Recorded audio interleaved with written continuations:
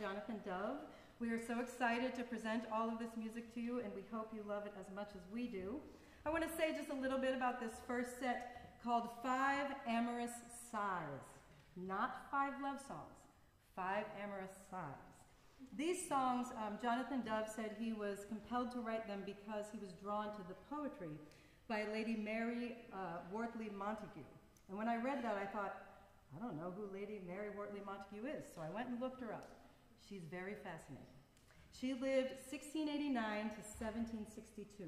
She was a woman ahead of her time. She was a very famous writer um, and poet in her time under her own name. Um, she also was a woman who didn't like to be told what to do.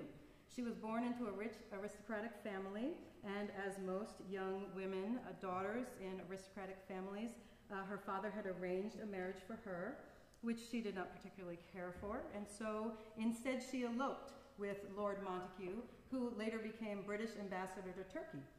While she was in Turkey with him, she uh, realized that in Turkey they inoculated people for smallpox. And she is described as having, would, would have been very beautiful, except for the scars she had from smallpox.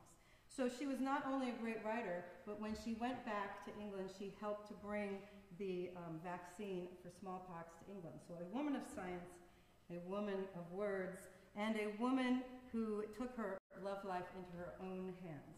The first song in this cycle, called Between Your Sheets, was written um, about uh, her, hmm, I'm not sure which one, but the man she ran off with, a young Italian artist um, who she ran off with and went and lived in Italy for about 10 years. We hope you enjoy this five amorous fond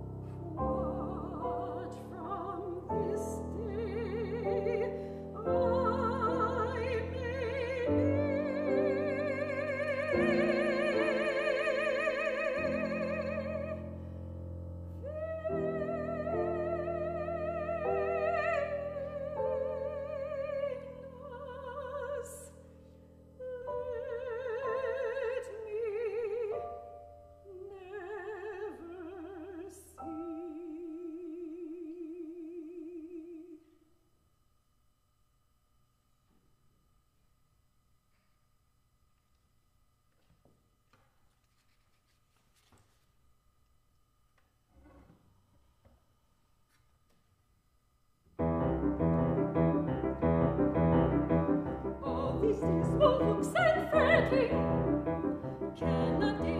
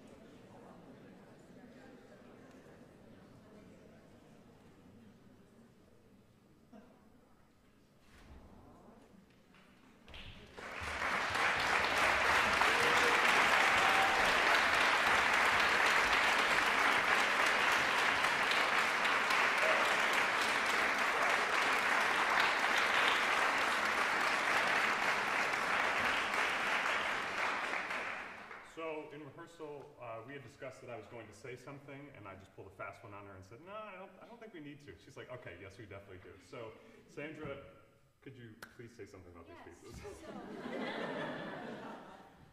So, about two and a half years ago, I was doing a bunch of listening for a diction paper that I was writing, and I came across "Oh Swallow Swallow" by Jonathan Dove, and I just fell in love with it. I ordered the music almost immediately and went on to listen to more of his compositions and learn more about who is this guy, what is he doing.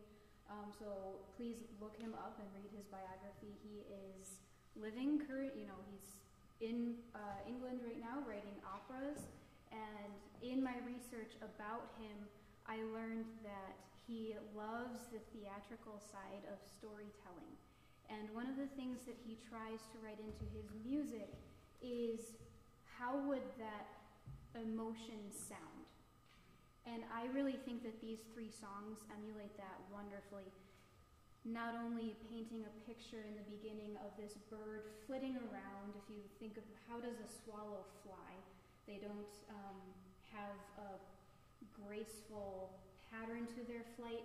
It's always changing, and you'll hear that in the music.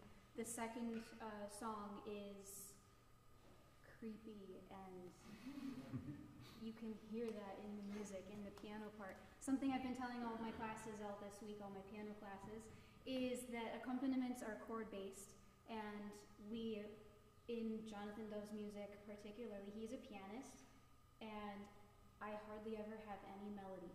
That is the job of my collaborator, which is one of the things that I really enjoy about true art song is that team between the soloist and the pianist.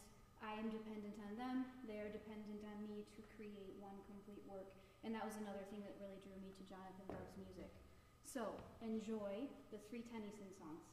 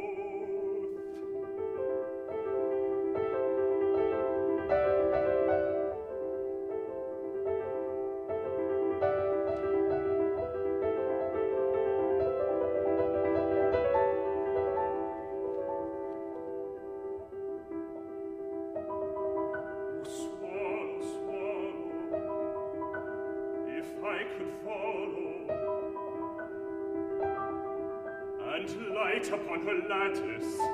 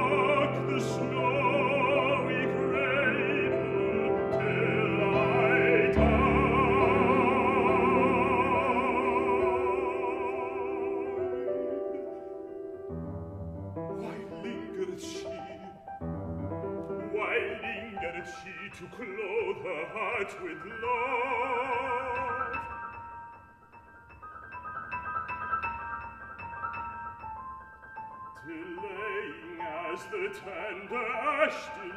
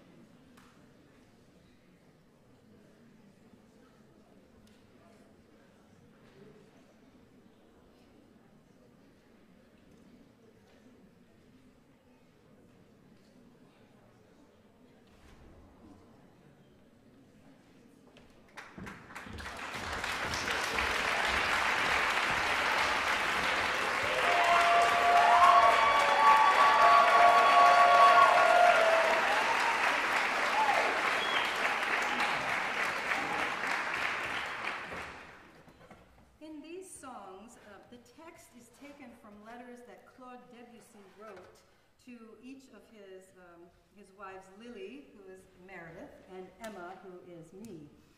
The, in his life, um, eh, Debussy, beautiful music, some interesting choices when it comes to relationships. Um, he, he did leave Lily for Emma and started his relationship with Emma before he was um, divorced from Lily. The, the music for these is very interesting because when he uses some consonance and dissonance is really very specific. And also you will hear um, when we have in very individual lines um, and when we're actually singing in duet and what uh, sonorities he uses. So we hope you enjoy these uh, letters from Claude.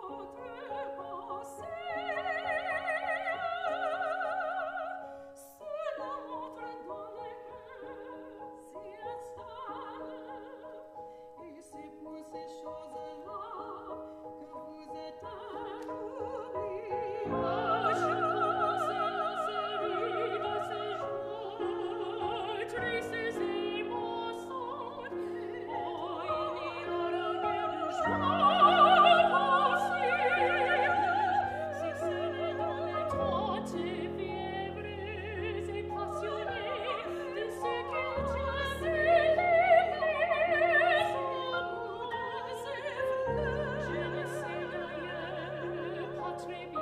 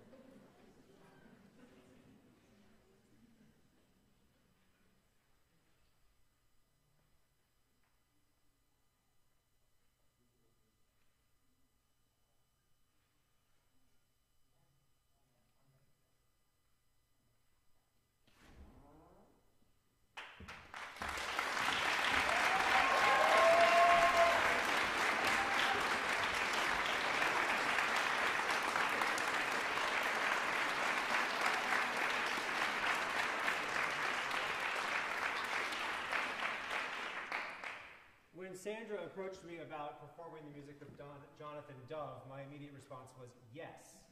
Um, I have learned um, over time to really enjoy his music for the text and the way he sets the text, which you've heard tonight. Um, the, the great English choral conductor, Simon Halsey, who conducts the London Symphony Chorus and conducted um, the Berlin Radio Choir for years and years, has called um, Jonathan Dove. I was actually on a Zoom session with Simon Halsey. It was very exciting. Um, but he has called Jonathan Dove um, the greatest living English composer, and um, in the same pantheon of English composers as Purcell and Britten, Henry Purcell and Benjamin Britten, in his ability to set the English text. So it's been a real privilege for us to work on this piece. Um, this is the, the last movement of a choral song cycle um, called The Passing of the Year. And this is the, the last movement, Ring Out Wild Bells. And you'll, I will have some members of the choir um, pronounce, uh, give you the text before we sing it.